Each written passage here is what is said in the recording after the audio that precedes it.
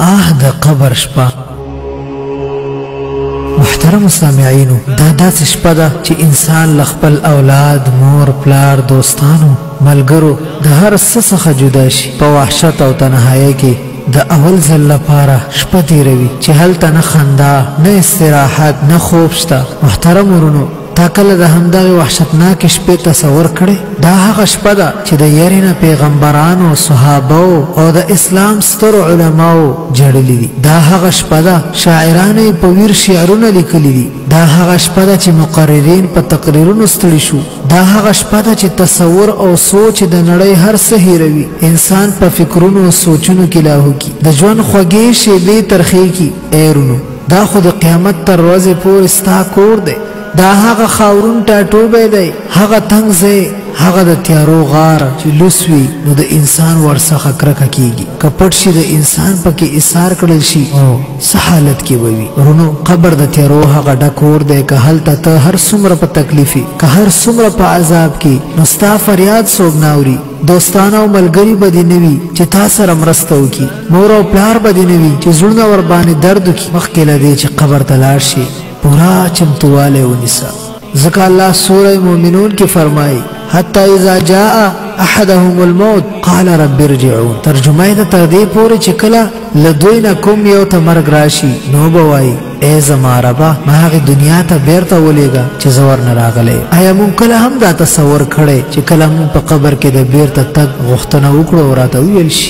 نه نه اسکل بیرته نشیدلې اوس تو بغار شوي اوس په ګناهونو په خیمان شوي اوس د نیکو عملونو په ارمان شوي هم هغه ژوند ستا چانس وو تا خپل چانس د خپل لاس ور هغه کومه ګناه وه چې تا په خپل ژوند کې ونه کړه آیا ته یوازې د خوب خوراک څښاک لپاره پیدا وي هغه ته نه وي چې له نصیحت څخه به تنګېدلې او زما بندګي دې پرېښودې وه او د خپل نفس د غوښتنو پابند جوړ شوی وي، ایا تا ته معلومه نه وه چې په همدغه ورځ به ته د ژوند د هرې شېبې جواب ورکړې؟ ایا لمونځ کول او نور نېک عملونه دروند بار و چې تا یې د وړلو توان نه لرلو؟ اوس توبه ګار شوې؟ ایا موږ تا ته ښه ژوند او ځواني نه وه درکړې؟ همدغه ژوند چې دې تېر شو د نېکو اعمالو د کولو لپاره په غوره موقع نه وه؟ ایا ته نه وې خبر چې ته به ضرور مرې او بېرته دنیا ته به ستا تلل نشته؟ ایا موږ ته نه وي خبر کړی چې له مرګ وروسته بل ژوند هم شته چې هغه ابدي ژوند دی ایا تا ته پیغمبرانو دا دعوت نه و در رسولی چې دلته یوازې نیک عمل تا ته غوره ژوند در بخښلی شي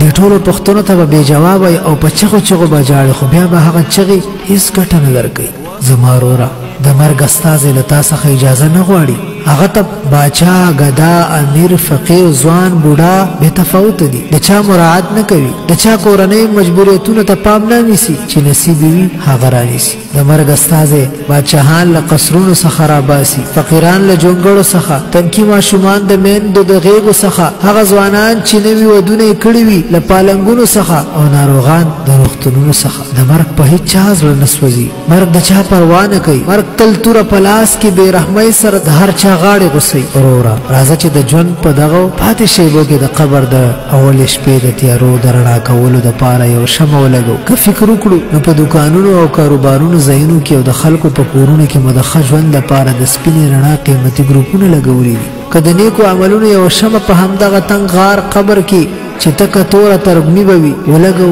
ایا ښه به نه قبر کې هلته ملګري خپلوان دوستان نشته یوازې ملګری چې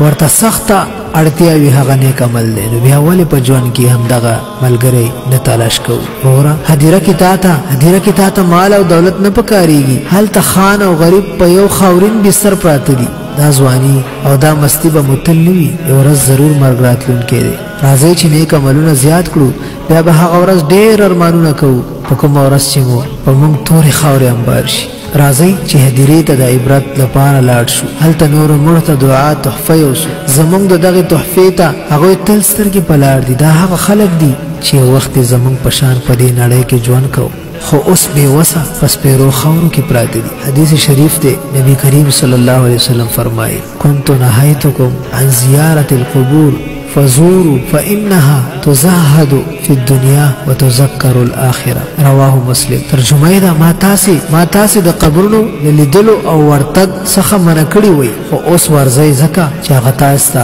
اخرت در په ګوته کوي. څو خبرې مو کړې، الله رب العزت دې موږ ته عمل نصیب کړي او له نورو ملګرو سره دا خبر نشر کړئ چې الله رب العزت تاسو ته هم اجرونه درکړي او ټولو ملګرو ته د عمل کولو توفیق نصیب شي. واخر دعوانا ان الحمدلله.